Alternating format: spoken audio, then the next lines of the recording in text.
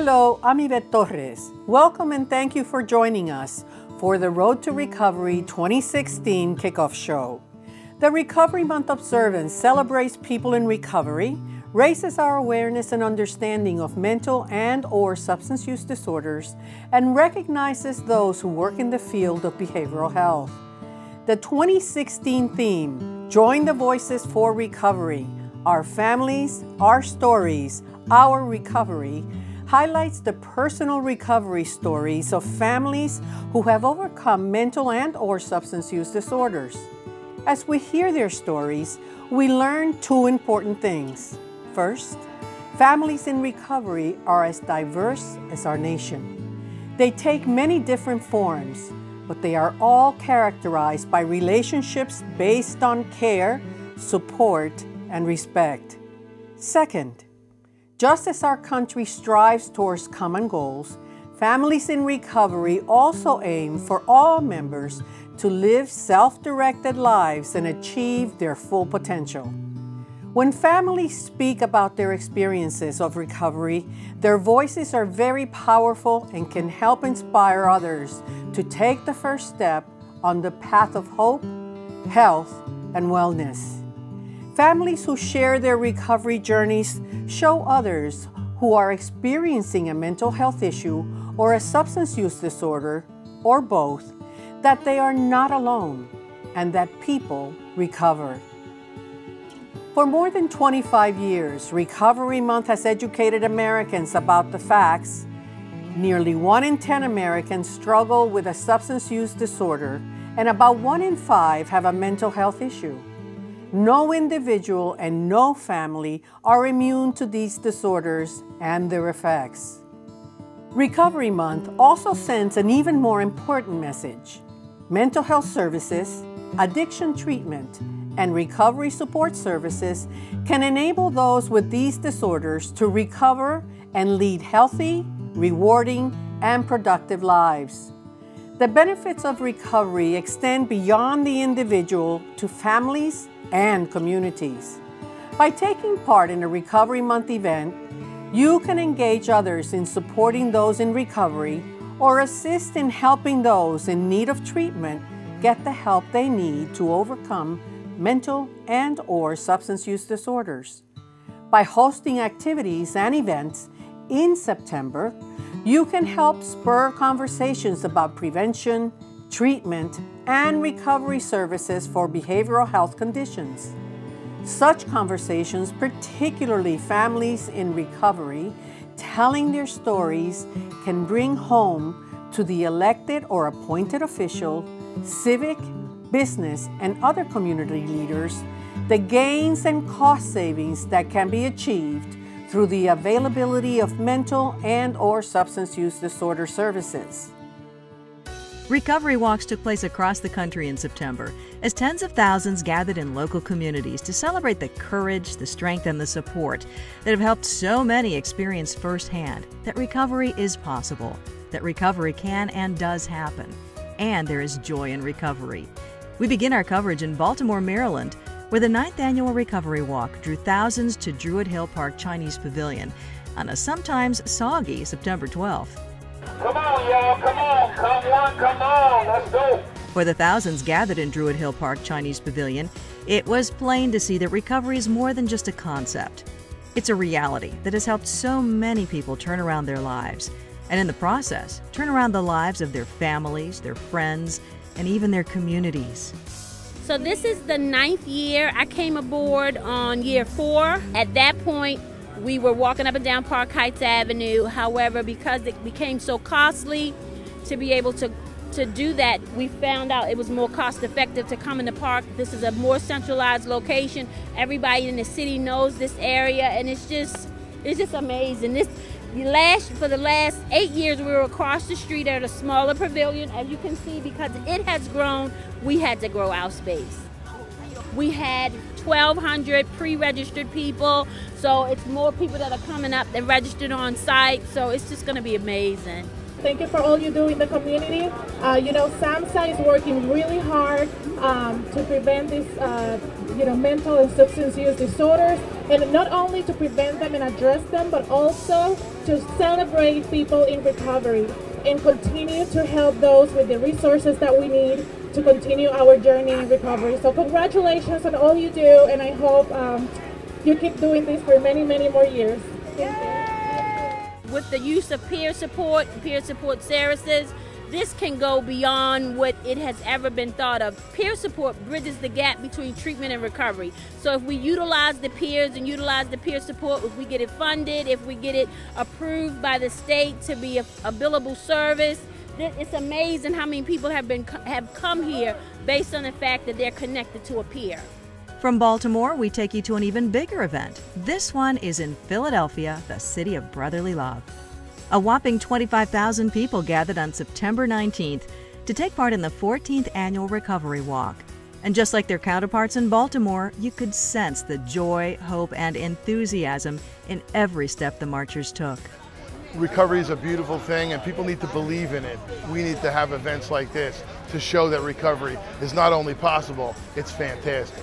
It's important for the general public to realize that uh, mental illness and substance use, uh, substance use affects a big percentage of the population. About one in four individuals in this country identify uh, with having a mental illness, according to SAMHSA. These kind of events show you how many people there are out there that are in recovery and how important it is for all this support, the housing, the rehabs, the detox, everything that's here if you're new and you're coming here, this is the place where you can get the help right away. And this is important to have events like this so the whole world can see that we do recover and we are beautiful people. This month marks the 26th anniversary and observance of National Recovery Month. While we know every day is a day to celebrate our recovery, September is a time to focus on the issue and collectively raise awareness that substance use disorders are diseases. Diseases that can be treated and that people in recovery can live full, happy, and productive lives. On October 4th, the biggest event of them all brought thousands of people to the National Mall in Washington, D.C. for a day long event celebrating the joy of recovery. The Unite to Face Addiction rally was designed to change the national dialogue from focusing on the problem to finding solutions. This is a time to unite and to say, we're together. We care about recovery. It works. People get there. Families get there. So I think we need to come together uh, as states and as, uh, as a nation and look at recovery and what that means, redefine, take the stigma out, and see the individual that's in recovery and quit looking at it as an addiction and quit defining people by their addiction. We're finally coming out into the world as people in recovery rather than hiding in the shadows, hiding in the basements, hiding, keeping our faces away from people. Recovery meant for me uh, being out of bondage, being able to be free, uh, learning how to live life all over again. Now that I'm in recovery, I'm able to give back. I'm able to share my hope, my strength, uh, my experience. I have my family back. I have my children back. My mother is able to say she have her son back. I'm able to be a productive member of society. I pay taxes and bills. People actually can say they love me and depend on me. We are here to say recovery works, and I'm here to lend to stick out my hand to pull you on on this train that's going towards uh, freedom. It's Freedom Train. This march in Washington served as the backdrop for an important announcement from the U.S. Surgeon General's office. We are doing the first ever Surgeon General's report on substance use, addiction, and health. It's a landmark report that will bring together the best possible evidence around prevention, treatment, and recovery. Through this report, we're hoping to make sure that families and individuals, that hospitals and physicians, and that local government have the tools that they need uh, to figure out how best to prevent and treat substance use disorders.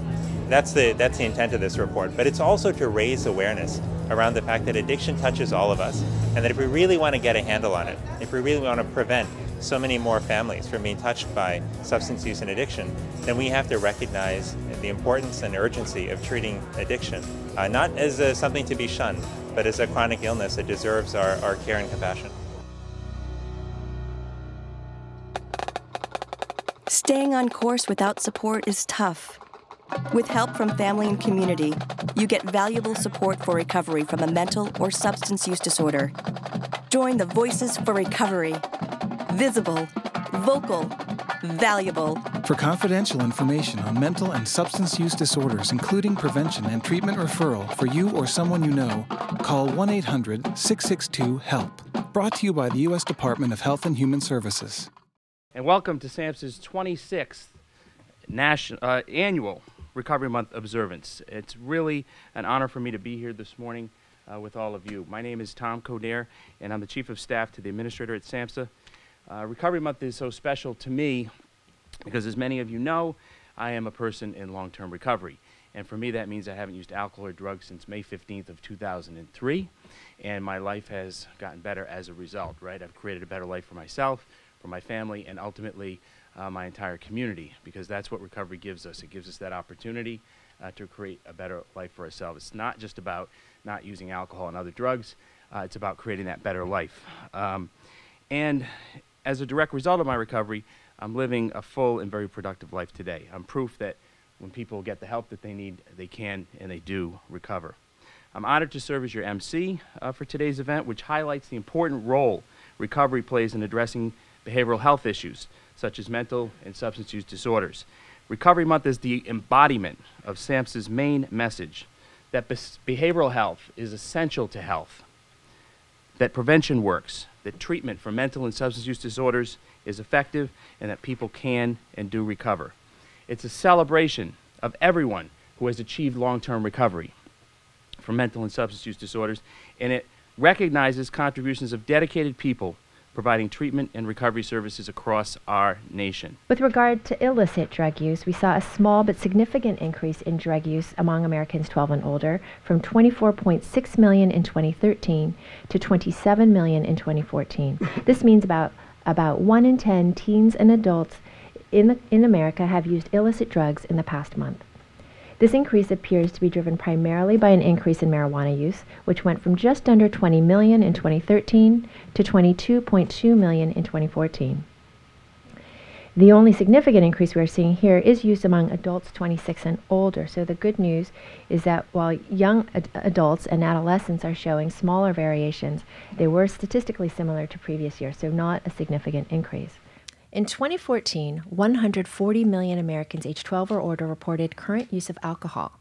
60, about 61 million, 60.9 million reported binge alcohol use in the past month, and 16.3 million reported heavy alcohol use.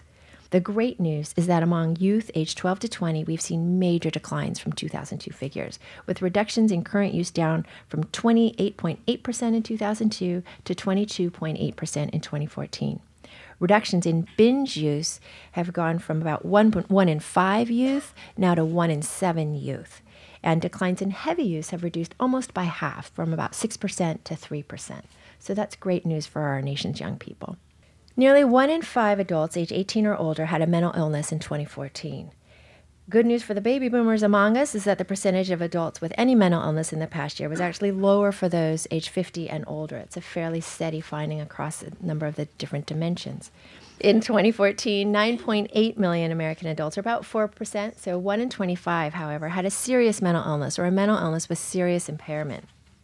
And there's been an increase in the level of adults experienced past year SMI since 2009. This increase reflects a small but significant uh, raise in the rate of SMI among adults 18 to 25 primarily. In 2014, 6.6% of adults aged 18 or older, or about 15.7 million people, had at least one major depressive episode in the past year. And 4.3% of adults, 1 in 25, 10 million people, had major depressive episode with severe impairment. But for American teens, we see that more than 1 in 10, 12 to 17 year olds, experienced a major depressive episode last year. 1 in 10 teenagers had a major depressive episode.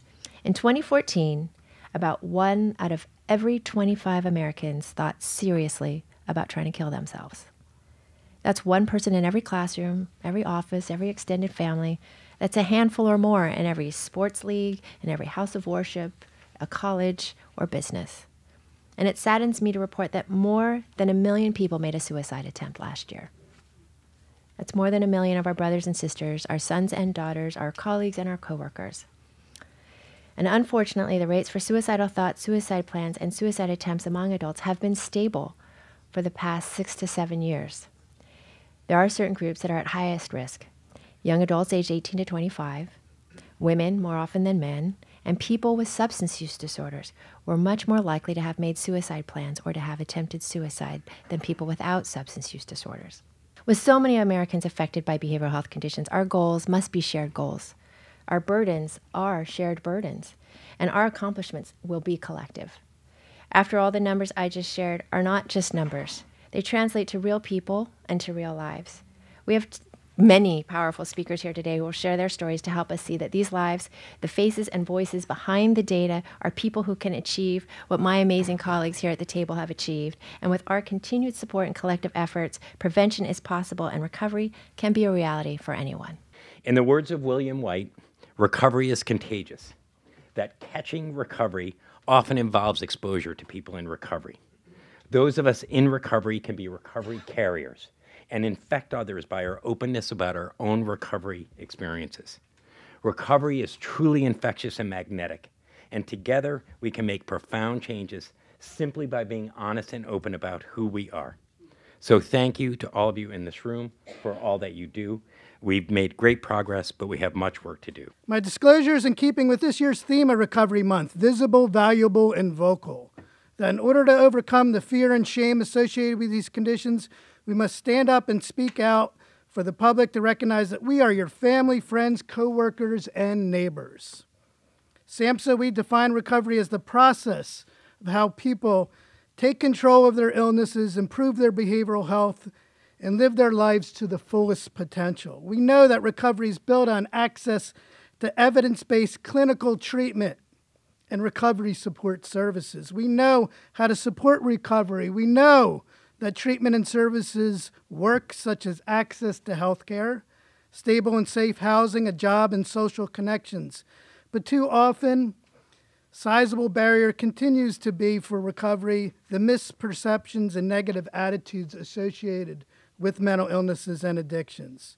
These attitudes lead to ongoing prejudice and discrimination that impacts educational opportunities, community life, and careers, and has a chilling effect on seeking care, and treatment. As our First Lady Michelle Obama stated, we need to, quote, flip the script when it comes to mental health and addictions in this nation.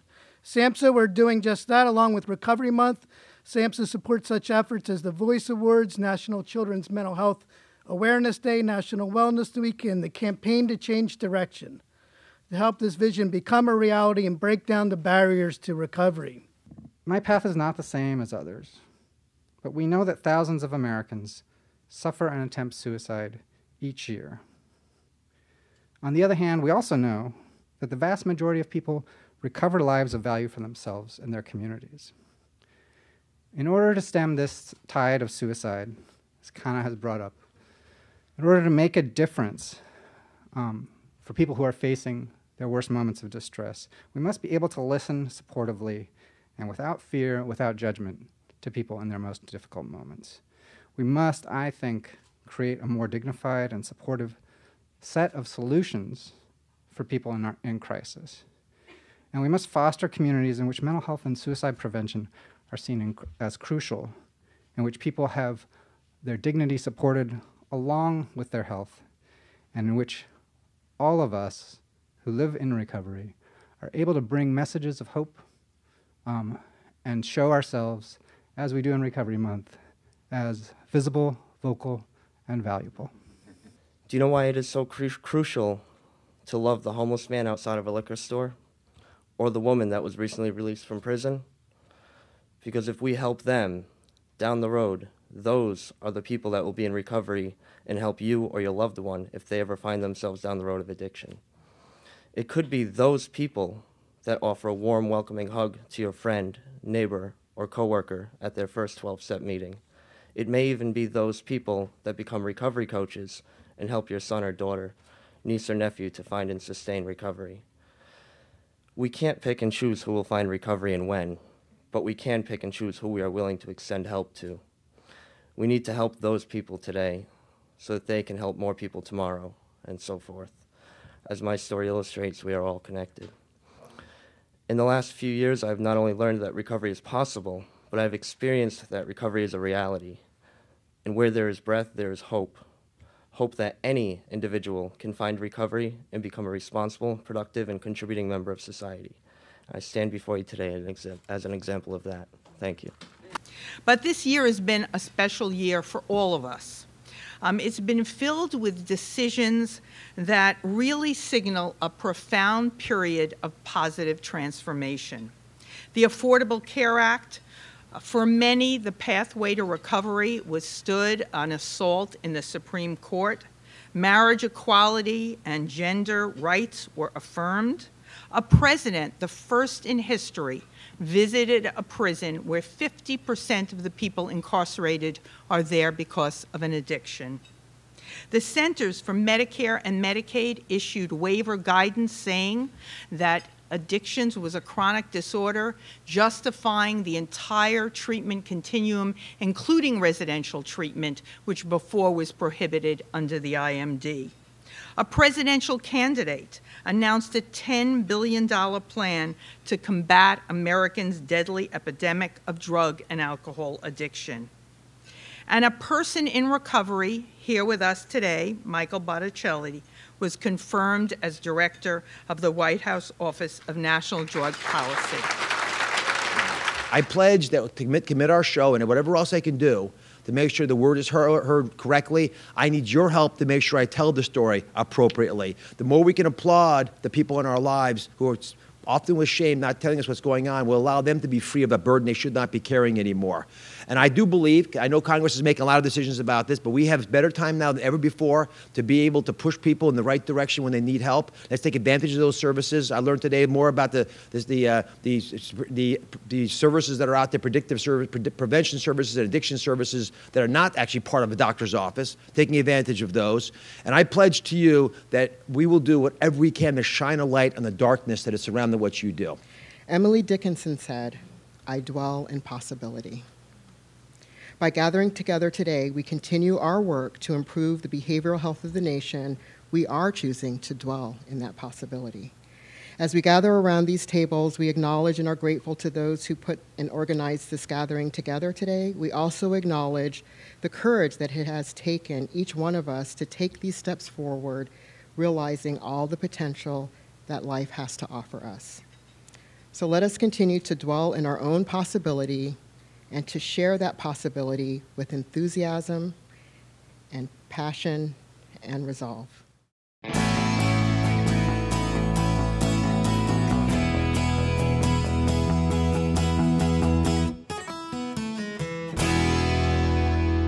It was a tremendous honor to win this award for the Durham County Criminal Justice Resource Center.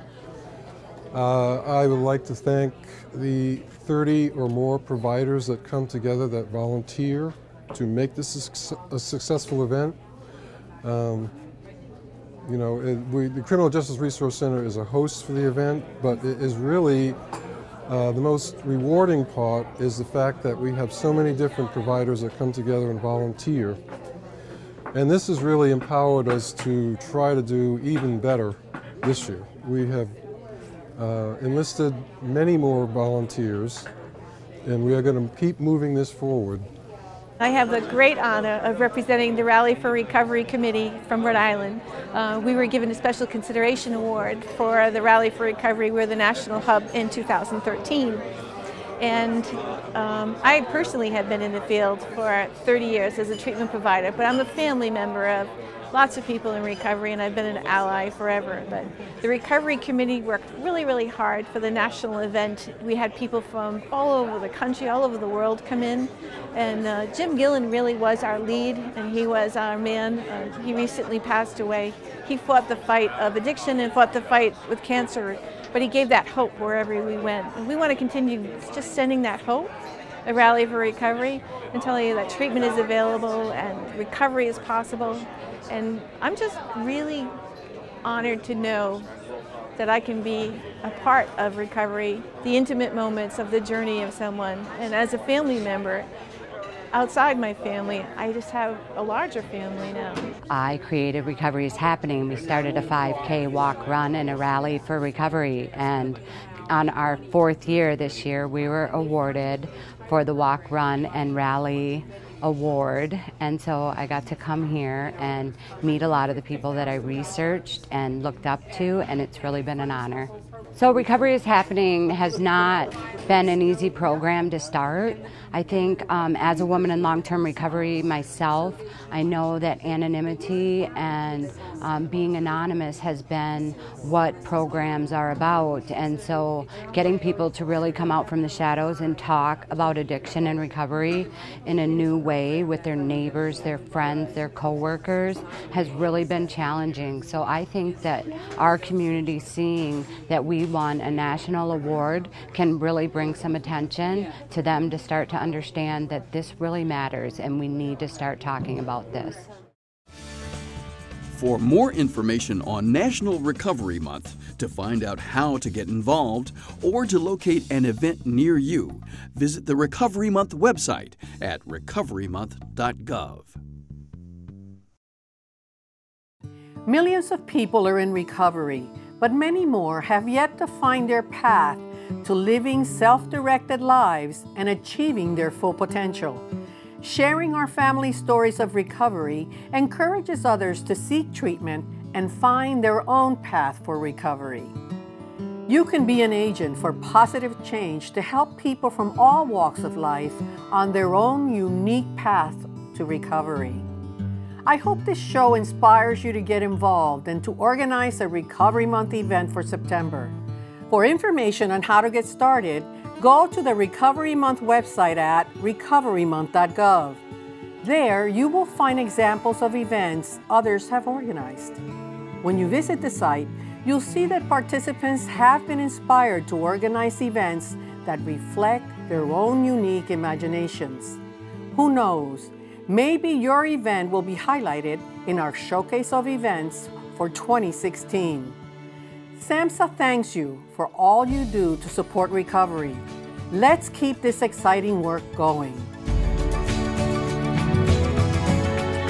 To download and watch this program or other programs in the Road to Recovery series, visit the website at recoverymonth.gov.